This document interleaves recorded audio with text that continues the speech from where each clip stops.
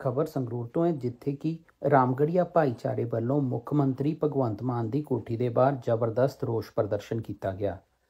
ਪ੍ਰਦਰਸ਼ਨਕਾਰੀਆਂ ਵੱਲੋਂ ਆਮ ਆਦਮੀ ਪਾਰਟੀ ਦੇ ਖਿਲਾਫ ਜੰਮ ਕੇ ਨਾਅਰੇਬਾਜ਼ੀ ਕੀਤੀ ਗਈ ਅਤੇ ਮੰਤਰੀ ਲਾਲਜੀਤ ਸਿੰਘ ਭੁੱਲਰ ਦੀ ਵਿਧਾਨ ਸਭਾ ਦੀ ਮੈਂਬਰਸ਼ਿਪ ਰੱਦ ਕਰਨ ਦੀ ਮੰਗ ਕੀਤੀ ਗਈ।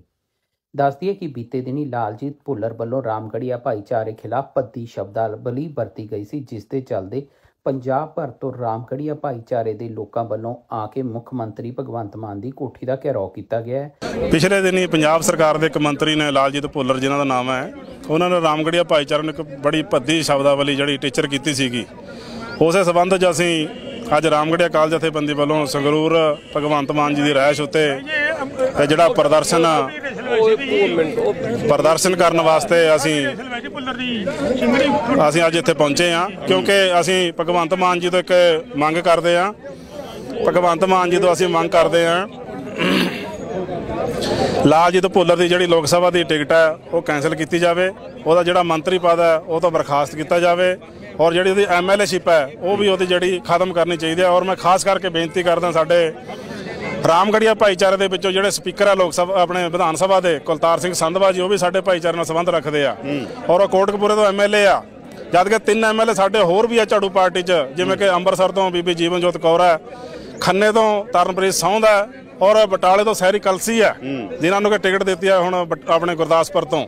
ਮੈਂ ਉਹਨਾਂ ਨੂੰ ਵੀ ਬੇਨਤੀ ਕਰਦਾ ਵੀ ਤੁਸੀਂ ਇਹ ਝਾੜੂ ਵਾਲੀ ਪਾਰਟੀ ਨੂੰ ਛੱਡ ਕੇ ਭੁੱਲਰ ਦਾ ਬਾਈਕਾਟ ਕਰੋ ਔਰ ਆਪਣੇ ਭਾਈਚਾਰੇ ਵਾਸਤੇ ਜਿਹੜੀ ਆਵਾਜ਼ ਆ ਬੁਲੰਦ ਕਰੋ ਜੀ ਚਾਰੇ ਦੇ ਚਾਰੇ ਐਮਐਲਏ ਨੇ ਮੂੰਹ ਜਮਾ ਜਿਵੇਂ ਦੰਦਣ ਪੈ ਜਾਂਦੀ ਆ ਐਦਾਂ ਉਹਨਾਂ ਦੇ ਮੂੰਹ ਸੀਤੇ ਪਿਆ ਕੋਈ ਵੀ ਇੱਕ ਵੀ ਸ਼ਬਦ ਨਹੀਂ ਉਹਨਾਂ ਨੇ ਬੋਲਿਆ ਜਦ ਕਿ ਸਪੀਕਰ ਦੇ ਵਿੱਚ ਇੰਨੀ ਪਾਵਰ ਹੈ ਉਹ ਐਮਐਲਏਸ਼ਿਪ ਖਤਮ ਕਰ ਸਕਦਾ ਹੈ। ਪਰ ਉਹਨੇ ਇੱਕ ਵੀ ਸ਼ਬਦ ਨਹੀਂ ਬੋਲਿਆ।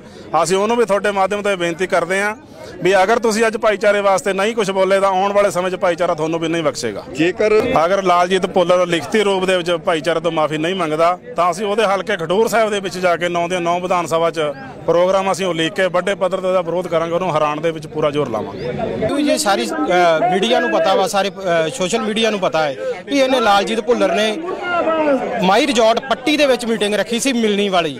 ਉਹਦੇ ਵਿੱਚ ਇਹਨੇ ਆਪ ਸ਼ਬਦ ਬੋਲੇ ਸੀ ਰਾਮਗੜੀਆ ਬਰਾਦਰੀ ਤੇ ਅ, ਸੁਨਿਆਰਾ ਬਰਾਦਰੀ ਤੇ ਤੇ ਉਸੇ ਦੇ ਰੋਸ ਦੇ ਪ੍ਰਦਰਸ਼ਨ ਵਿੱਚ ਵੱਖ-ਵੱਖ ਪਿੰਡਾਂ ਦੇ ਵਿੱਚ ਵੱਖ-ਵੱਖ ਸ਼ਹਿਰਾਂ ਦੇ ਵਿੱਚ ਰੋਸ ਮੁਜ਼ਾਹਰੇ ਕੀਤੇ ਗਏ ਆ। ਅੱਜ ਸੀਐਮ ਸਾਹਿਬ ਦੀ ਕੋਠੀ ਦੇ ਗਾੜੀ ਰੋਜ਼ ਪ੍ਰਸ਼ਾਸਨ ਕੀਤਾ ਗਿਆ ਸੰਗਰੂਰ ਦੀ ਸੰਗਤ। ਸਾਨੂੰ ਪੱਟੀ ਤੋਂ ਮੈਸੇਜ ਲੱਗਾ ਵੀ ਸਾਰੇ ਪੰਜਾਬ 'ਚ ਵੀ ਇੱਥੇ ਪਹੁੰਚੋ।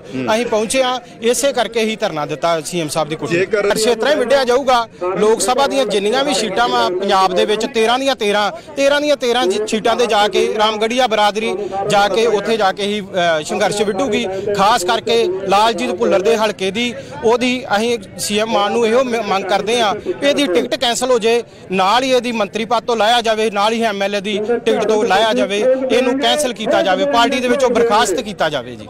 ਪੰਜਾਬ ਦੀ ਅਗਵਾਈ ਸੀਐਮ ਭਗਵੰਤ ਮਾਨ ਕਰ ਰਹੇ ਆ। ਸਾਡਾ ਫਰਜ਼ ਹੈ ਕਿ ਪਹਿਲਾਂ ਬਜ਼ੁਰਗਾਂ ਨੂੰ ਦੱਸੋ ਵੀ ਉਹਨਾਂ ਦੀ ਔਲਾਦ ਕੀ ਕਰ ਰਹੀ ਹੈ। ਜੇਕਰ ਮੁਖੀ ਭਗਵੰਤ ਮਾਨ ਹੈ ਤਾਂ ਉਹਨੂੰ ਪਤਾ ਹੋਣਾ ਚਾਹੀਦਾ ਵੀ ਮੇਰੇ ਜਿਹੜੇ ਪਿੱਛੇ ਲਾਏ ਆ 91 ਤਾਂ ਉਹ ਕੀ ਖੇ ਉਡਾ ਰਹੇ ਆ ਪੰਜਾਬ ਦੇ ਵਿੱਚ। ਉਹਨਾਂ ਨੂੰ ਗਿਆਨ ਹੋਣਾ ਚਾਹੀਦਾ ਪੰਜਾਬ ਦੇ ਇਤਿਹਾਸ ਬਾਰੇ।